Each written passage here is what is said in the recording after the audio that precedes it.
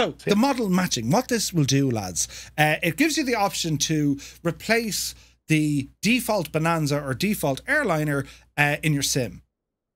Now, this is how it works. You can only replace these other uh, models with what you currently have installed.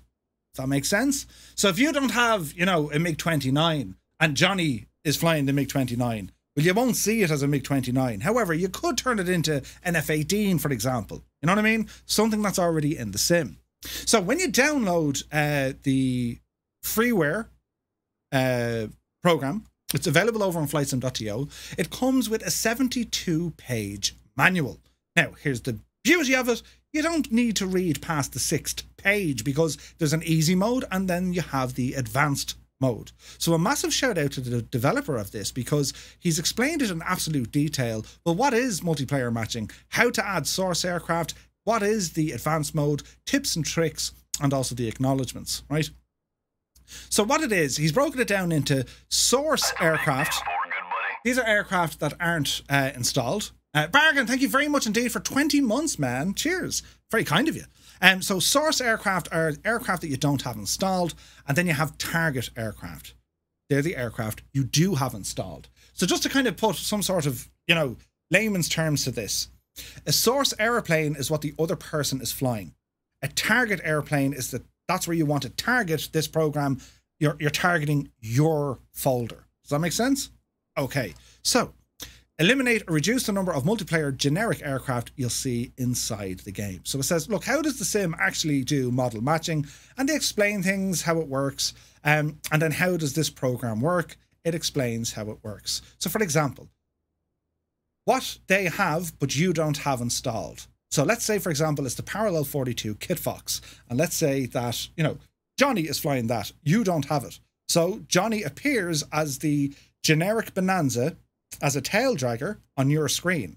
What this program will do, you can say, listen, I don't have the Parallel 42 Kit Fox, so see, Johnny, turn him into a beaver, please. So at least you're getting the model matching closer to what it should be.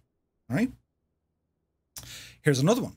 Uh, let's say, for example, you have the Parallel 42 uh, Kitfox, but you don't have a livery that Johnny is flying on his parallel 42 Kitfox? Well, the sim will load him up as a Bonanza.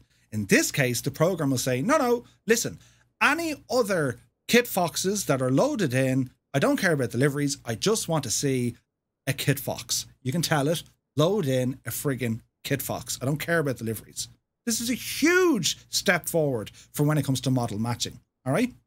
Then there's a couple of other uh, issues. So as, as as good as this program works, it it'll, it can only cover about ninety percent of the issues because well there are some things beyond the remit of this program. For example, it could be the server connectivity, it could be your internet connection, it could be the ICAO uh, designator that the aircraft designer has put on the aircraft, and there's other a handful of other things that may or may not work. So it has a getting started, but I can show you all this now. You download, you unzip, and you launch a program called M3.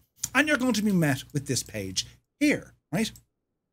And how we navigate, you'll see that we have source aircraft, and then you'll have a button over here that says target aircraft. Now, you mustn't do this with the sim running, and I'll explain why. But anyway, by default, the source aircraft, i.e., the airplanes you don't have, there is a massive list here. And the developer constantly updates this to add in all the new aircraft. There are many, many, many aircraft. There's 300 different ones, for example, right? So, for example, uh, the Whittaker MW6 Ultralight. I mean, who has that? I don't know.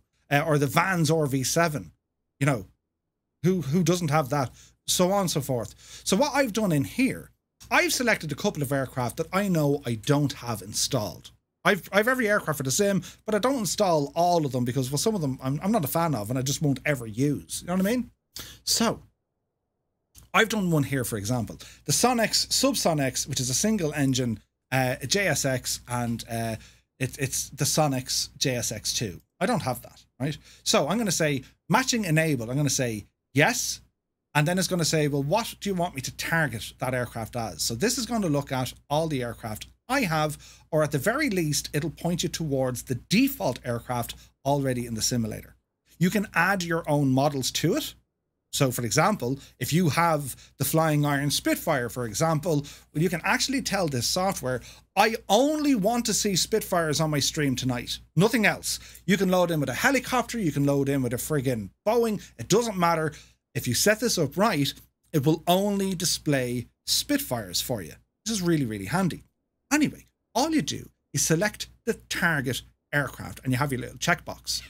When all of that is done and you're happy, there's a button over here that says generate package. Yeah. Advanced mode opens up the target aircraft and you can add target aircraft from here. Don't worry about the advanced mode. Keep it simple. You generate the package and say, Are you sure you're going to override it? You say, Yes, generate the package.